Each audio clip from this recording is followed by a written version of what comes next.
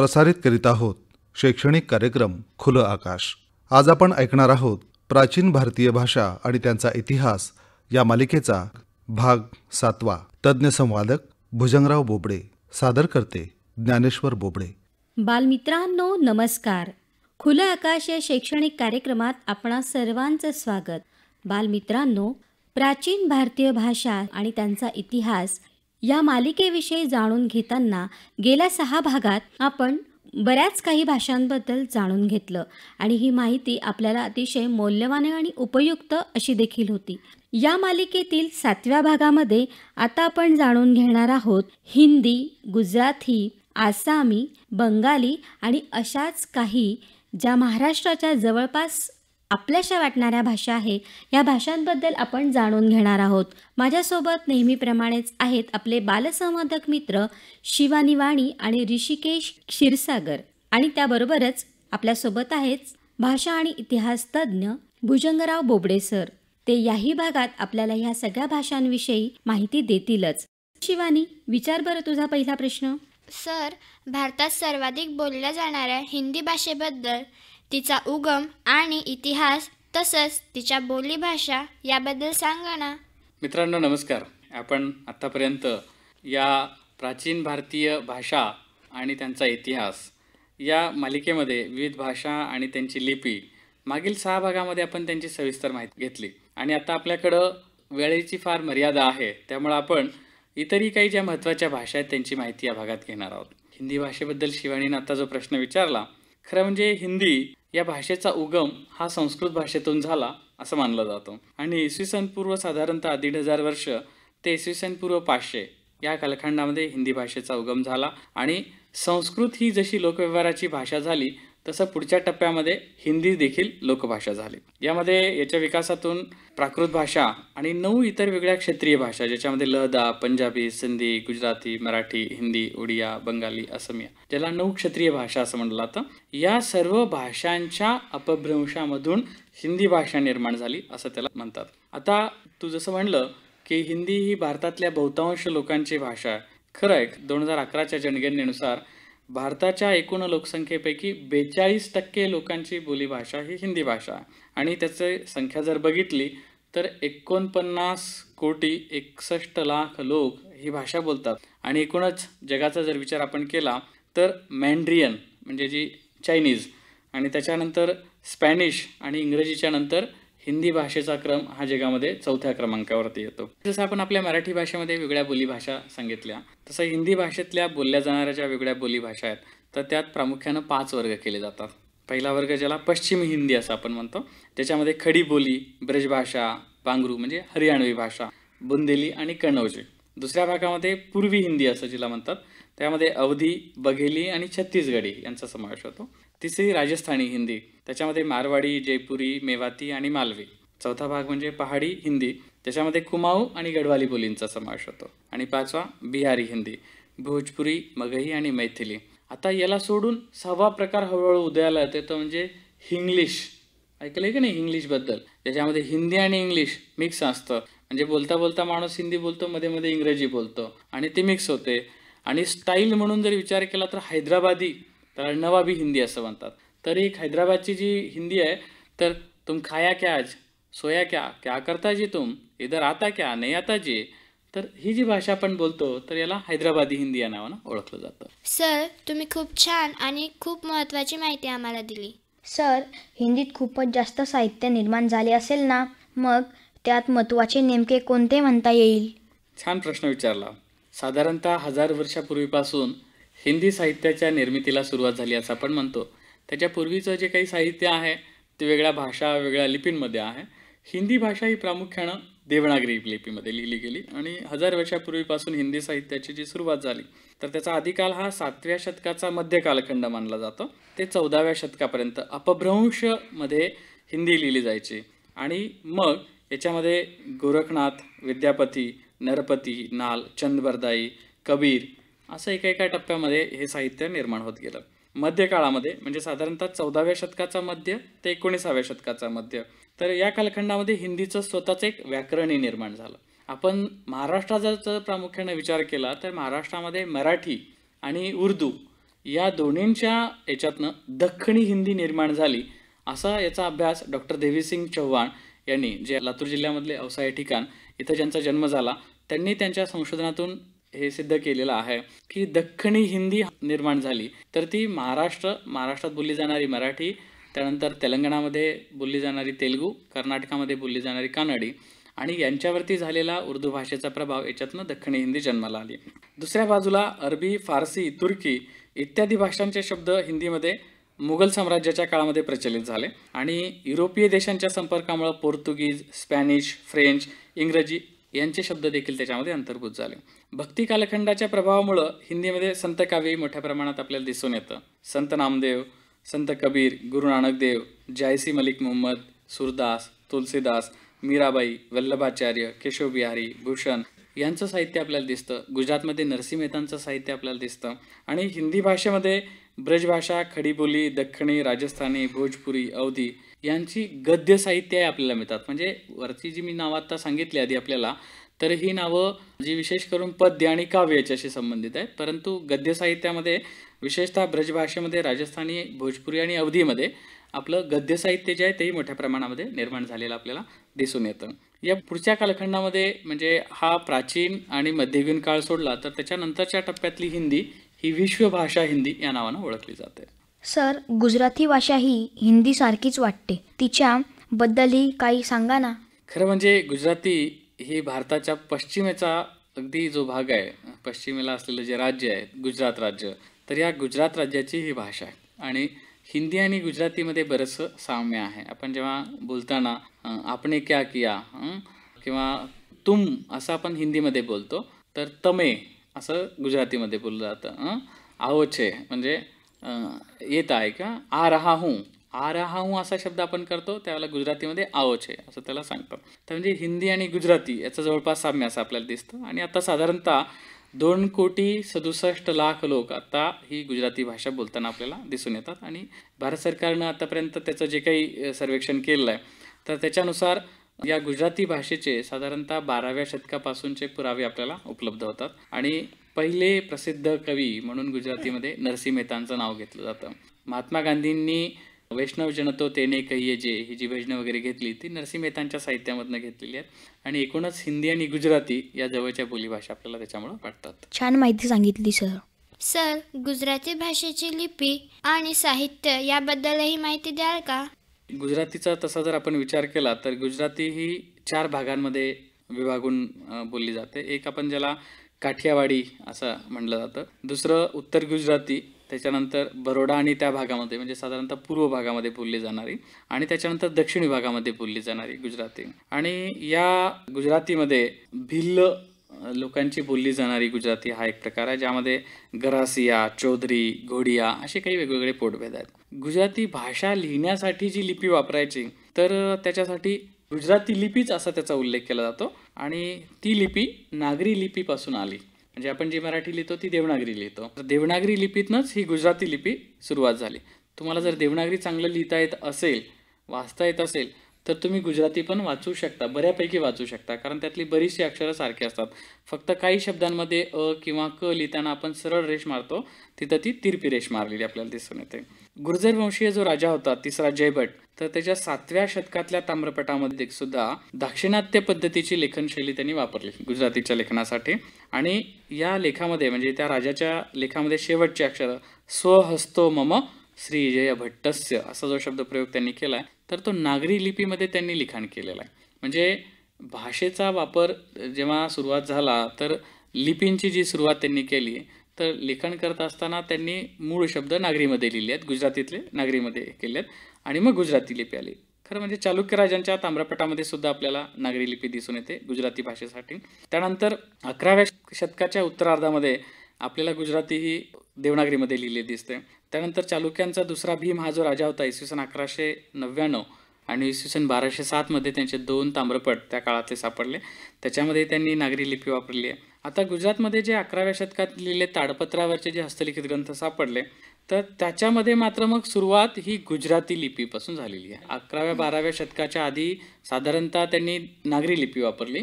अकराव्या बाराव्या शतकापासून त्यांनी गुजराती लिपी वापरली. आता याच्या पुढं अजून एक टप्पा येतो. गुजराती लिपीसोबत त्यांनी गुजराती भाषेच्या लिखाणासाठी बोडिया नावाची एक नवीन लिपी सुरुवात केली. जसं आपण मराठीचं सुद्धा बघितलं की मराठी ही नागरीमध्ये सुरुवात झाली. मग नंतर मोडी आली परत आपण देवनागरीमध्ये आलो बरोबर?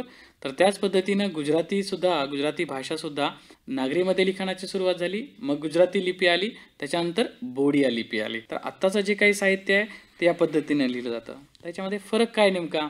आपण हे जे सगळं लिखाण करतो हिंदी किंवा गुजराती याच्यामध्ये फरक काय नेमका? तर याच्यामध्ये अ आ ई ई उ उ त्याच्यानंतर क च ज झ न फ आणि भ ही एवढीच अक्षरं फक्त नागरी लिपीपेक्षा वेगळी आहेत. बाकी जवळपास सगळी अक्षरही सारखी आहेत. दुसरी महत्त्वाची गोष्ट म्हणजे या लिपीमध्ये ए आपण अ आ इ ई उ उ ए एला आपण स्वर मानतो. परंतु गुजरातीमध्ये मात्र एला असं वेगळं स्वरामध्ये स्थान नाही आहे आणि दुसरी गोष्ट अचा जो स्वर आहे अ अवरतीच आपण जो अ लिहितो त्या अच्या डोक्यावरच मात्रा देऊन ए. असं गुजरातीमध्ये लिहिलं जातं. लक्षात आलं? की कसं लिहायचं गुजरातीतून? आणि क्ष आणि ज्ञ ही त्यांनी जोडाक्षरं मानलेली आहेत. म्हणजे काना मात्रा वेलांटी जोडाक्षरं ही नागरी प्रमाणात जरी असली तरी गुजराती लिपीमध्ये अक्षरांवरती शिरोरेषा नाही आहेत. जसं आपण कौ किंवा भाऊ असं लिहितो तर अशी लिखाणाची शैली ही गुजरातीमध्ये नाही आहे. सर गुजराती साहित्याबद्दलही अजून काही सांगाल का? जिला प्राचीनतम गुजराती किंवा जुनी गुजराती असं आपण म्हणतो किंवा प्राचीन पश्चिमी राजस्थानी आणि मारू गुर्जर असं म्हणतो. तर याच्यामध्ये साधारणतः इसवी सन बाराशे पन्नासपासून याच्यामधल्या साहित्याची निर्मिती झाली होती. विद्वानांकडनं जिला गौर्जर किंवा शौरसेनी भाषा असं म्हटलं जायचं. तर राजा भोज ज्याचं नाव प्रसिद्ध आहे तर या राजा भोजानं इसवी सन एक हजारमध्ये सरस्वती कंठाभरण या नावाचा एक ग्रंथ लिहिला होता आणि त्याच्यात त्यांनी असं लिहिलं होतं की गुर्जरांची प्रिय भाषा म्हणून त्याचा त्यांनी उल्लेख केला होता. आणि त्याच्यानंतर वैयाकरण मार्कंडेय.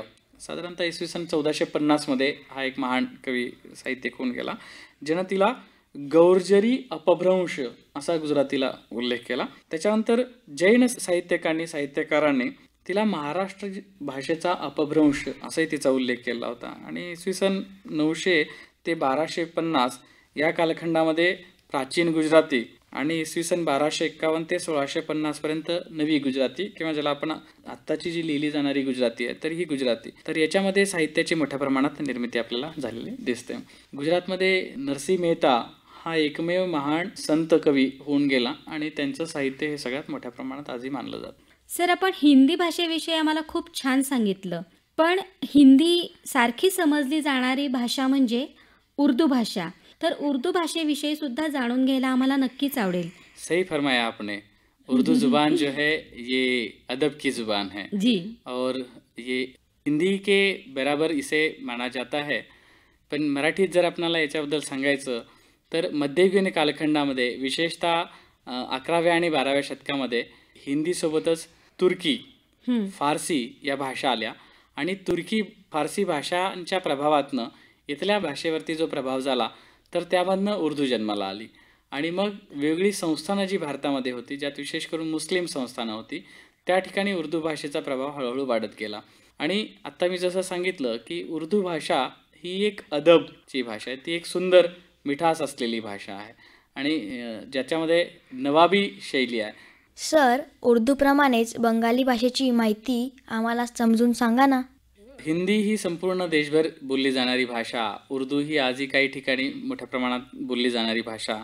तसं बंगाली ही पश्चिम बंगाल बांगलादेश आणि त्याला लागून असणारा बिहार आणि आसाम याच्या सीमावर्ती प्रदेशातील काही जिल्ह्यामध्ये बोलली जाणारी ही भाषा आहे ज्या पद्धतीनं गुजरातमध्ये लोक जास्त गोड खाण्याचे शौकीन आहेत तसं बंगाली भाषा आपल्याला गोड वाटते कारण रसगुल्ले खाणाऱ्यांची भाषा म्हणून आपण तिला ओळखतो. पण बंगाली ही याच ज्याला आपण इंडो आर्यन भाषांचा एक गट असं मानतो तर याच्या शाखेची ही भाषा आहे सुरुवातीला असमिया त्याच्यानंतर मैथिली आणि त्याच्यानंतर उडिया या तीन भाषांचा संगम हा बंगाली भाषेमध्ये आपल्याला दिसून येतो. आणि या चारही भाषांचं मूळ हे एकच आहे आणि त्यांचं पुढं विभाजन झालं. तर याच्यात सगळ्यात आधी मैथिली ही आठव्या शतकामध्ये विभाजित झाली उडिया ही नवव्या दहाव्या शतकात वेगळी झाली आणि असमिया आणि त्याच्यानंतर मग बंगाली भाषा वेगळी झाली. बंगालीचं स्वतंत्र अस्तित्व आपल्या साधारणतः इसवी सनाच्या दहाव्या शतकापासून दिसतं. आणि तिचा इतिहास आपल्याला तीन टप्प्यात विभागता येतो. एक प्राचीन बंगाली जी इसवी सन एक हजार ते इसवी सन तेराशेपर्यंत आपल्याला बघता येते. आणि नेपाळमध्ये सुद्धा तिचं आपल्याला फार मोठं अस्तित्व जाणवतं. त्याच्यानंतर मध्यकालीन बंगाली जी साधारणतः इसवी सन तेराशे ते सतराशे पन्नासपर्यंतच्या कालखंडामध्ये वापरली गेली. याच्यामध्ये पंधराव्या शतकापासून लिहिलं गेलं साहित्य त्याच्यात आहे. आणि सर्वात मोठं म्हणजे पश्चिम बंगालमध्ये फारसी अरबी तुर्की आणि पोर्तुगीज यांचा फार मोठा प्रभाव झाला आहे आपल्या सगळ्यांना माहिती आहे ना की अठराशे सत्तावन्नचा उठाव झाला. पण अठराशे सत्तावन्नच्या उठावाच्या आधी शंभर वर्ष सतराशे सत्तावन्नला एक लढाई झाली होती. माहीत आहे ती कुठली लढाई होती? हं? प्लासीची. हां प्लासीची लढाई. तर बंगालमध्ये सिराजोद्दौला याचं नाव घेतलं जातं. म्हणजे याचा अर्थ पाश्चात्यांचं आक्रमण या बंगाली भाषेवरती मोठ्या प्रमाणात त्या काळामध्ये झालेलं होतं. म्हणून पंधराव्या शतकाचे पुढं साधारणतः सतराशे पन्नास अठराशे पन्नासपर्यंत याचा वापर होता. आणि आत्ताची जी बंगाली आहे तिला अर्वाचीन बंगाली असं म्हटलं जातं. गद्य म्हणजे आपण जे काही कथा कादंबऱ्या वाचतो आणि काव्य वाचतो या दोन्ही दृष्टीनं ही भाषा ही अत्यंत संपन्न आहे सर बंगाली भाषेच्या बोलीभाषा आहेत का? आणि तिच्या लिपीत आणि आपल्या देवनागरी लिपीत काही फरक आहे का? बंगाली भाषेचे पाच भाषिक पोटभाग असं आपल्याला म्हणता येऊ शकतात. याच्यामध्ये उत्तर बंगाली ईशान्य बंगाली आणि पूर्व बंगाली ज्या तिन्ही बंगाली या बांगलादेशमध्ये बोलल्या जातात. आणि दुसरं ज्याच्यामध्ये पश्चिम बंगाली आणि नैऋत्य बंगाली या भारतामध्ये बोलल्या जातात. ज्यावेळेला भारताची फाळणी झाली तर या फाळणीच्या नंतरच्या कालखंडामध्ये बांगलादेशमध्ये जी भाषा होती बांगलादेशची आणि पश्चिम बंगालची भाषा ही जवळपास सारखी आहे परंतु विभागानुसार त्याला वेगळे पोटभाग दिलेले आहेत. परंतु या पोटभागांचे परत अजून अनेक स्थानिक भेदी आहेत. पश्चिम बंगालीचा प्रारंभ हा जो आहे तो साधारणतः एकोणीसाव्या शतकाच्या मध्यावरचा आपल्याला दिसतो. आणि प्रमाण बंगाली भाषा ही पश्चिम बंगालीच्या मध्य स्थानिक भेदावरती आधारली. त्याचं क्षेत्र हे कलकत्ता आहे. बंगालीच्या ज्या भाषा आहेत त्या बोलीभाषेला चलित भाषा असं तिथं आपण म्हणलं जातं. म्हणजे आपण त्याला बोली भाषा शब्द वापरतो तर बंगालीमध्ये त्याला चलित भाषा असं म्हणतात. आणि ग्रंथांची जी भाषा आहे म्हणजे आपण जसं आपल्याकडं कथा कीर्तन किंवा श्लोक असा शब्द प्रयोग करतो तर ग्रंथांची जी भाषा बंगालमध्ये वापरली आहे तिला ते साधू भाषा असं म्हणतात. म्हणजे एक साधू भाषा दुसरी चलित भाषा. लिपींचा जर आपण विचार केला बंगालीमध्ये तर बंगाली लिपी ही बंगाली भाषा लिहिण्यासाठी उपयोगात आणली जाते. देवनागरी लिपी जसं मराठी हिंदी संस्कृत लिहिण्यासाठी वापरतात तसं बंगाली भाषा लिहिण्यासाठी बंगाली लिपीचा उपयोग केला जातो. आणि सध्या बिहार पश्चिम बंगाल बांगलादेश आसाम नेपाळ आणि ओरिसा या प्रदेशामध्ये जे काही शिलालेख सापडले तर त्या शिलालेखांमध्ये आणि बाराव्या शतकाच्या नंतरच्या हस्तलिखितांमध्ये आपल्याला बंगाली लिपी दिसते आता दहाव्या शतकामध्ये बंगालचा जो राजा होता नारायण पाल याचं नाव तर त्यांनी बंगाली लिखाणाला जास्त पाठिंबा दिलेला होता. आता याच्यामध्ये हे हे राजे जे होते हे पालवंशीय होते. आणि यांचा जो शिलालेख आहे, पहिला जो लेख सापडला देवपाडा लेख असं त्याला आपण म्हणतो. तर या देवपाडा लेखामध्ये ए ख त्र त थ म र ल आणि स ही अक्षरं जी आहेत बंगालीची तर ही नागरी लिपीपेक्षा वेगळी असलेली आपल्याला दिसतात. आणि बाराव्या शतकामध्ये वैद्यदेवानं जे लिखाण केलं तर त्याच्या लेखामध्ये रू ए ऐ ख ग आणि त्र तर ही शब्द बंगाली भाषेमध्ये पहिल्यांदा आलेली आपल्याला दिसतात. तर सुरुवातीच्या कालखंडातली जी बंगाली लिहिली गेली तिला प्राक बंगाली असं तिला म्हटलं जातं. आणि आत्ताची आधुनिक बंगाली याच्यातला महत्त्वाचा फरक म्हणजे या काळातल्या अक्षरांच्या डोक्यावरती त्रिकोण दिसायला लागले. खरं म्हणजे हा त्रिकोणांचा प्रभाव जो होता तो ब्राह्मी लिपीतनं आलेला होता. आणि अक्षरांवरती डावीकडं आडवी रेघ असायची ती हुकाप्रमाणे वळली दिसायची. आता आपण जसं की लिहितो म्हणजे पहिला की किंवा दुसरा की लिहिताना अक्षराच्या वरती जसं वळण देतो त्याला हुक असं तिथं म्हणलेलं आहे. तर त्याला बंगाली लोक नेपाळी हुक असं म्हणतात. म्हणजे त्यांच्याकडच्या याच्यामध्ये जो वापर केला जातो तो नेपाळी हुक असं त्याला म्हटलेलं आहे. आणि हे नेपाळी हुक जे आहेत ते एका आड एक अक्षरावरती दिसतात. आपल्याकडं फक्त दोन शब्दामध्ये क का की की.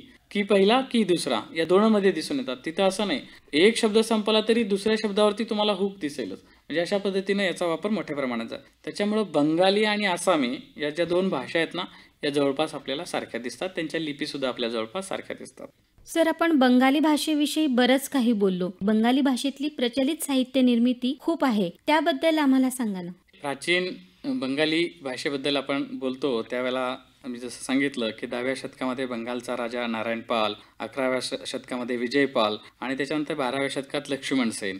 याच्या काळामध्ये प्राचीन बंगाली साहित्याची निर्मिती फार मोठ्या प्रमाणात झाली. आणि आधुनिक कालखंडाचा जर आपण विचार केला तर या काळामध्ये शरदचंद्र चट्टोपाध्याय बंकिमचंद्र की ज्यांनी आनंदमठ सारख्या अतिशय प्रसिद्ध कादंबऱ्या लिहिल्या आणि वंदे मातरम तर ज्याची सुरुवात या कादंबरीतनं झाली आपल्याला दिसते. आणि सर्वात महत्त्वाचं आणि प्रसिद्ध नाव म्हणजे रवींद्रनाथ टागोर.